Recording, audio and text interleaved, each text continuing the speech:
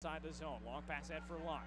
Wagner trying to hold Locke to the boards. Does so, but the puck came through for Lammers. Centering feed. Rogers in the backhand. Wade shoots. Save Legace. Cowan got back there, blocked it away, and the whistle had sounded. There is no goal. There is no penalty. Pouliot slides it for Earl. Earl enters, fakes the shot, slid it to the slot. It bounced from Wagner to Pouliot. Drop for Kalanos with a wrist shot that never made it to the goal. Side of the net. Legace with an unbelievable save on Robbie Earl.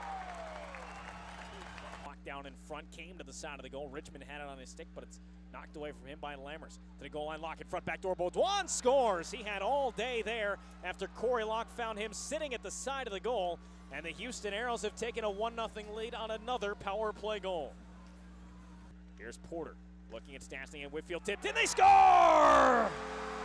Great feed to Whitfield from Porter, and it's tied at one putting the boys back together, and it pays immediate dividends. Out, looks for a shot, takes it and fired wide. Off the wall it comes, and now a chance the other way for Lammers out of the box. Lammers in, shoots, hit the post, and it went away. And the net comes off as Lammers ran into it. Zini with 48 seconds left on the power play. Up top, Wagner, slap shot, tip, rolling puck behind him, scores! No, they've waved it off. They say Regier put it in with his hand. Steve Regier got buried from behind. And how can they say that Regier put it in the net without some help from behind? Slot, Richmond shoots, save made by a sprawling Khudobin. Rebound to the wall, and out comes Locke. Power play over. Here's Richmond behind the net. Stops, fed it. Filewich shoots, scores!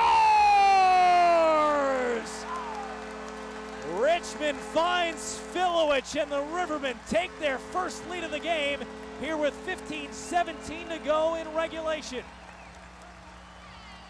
It is a goal for Jonathan Filewich.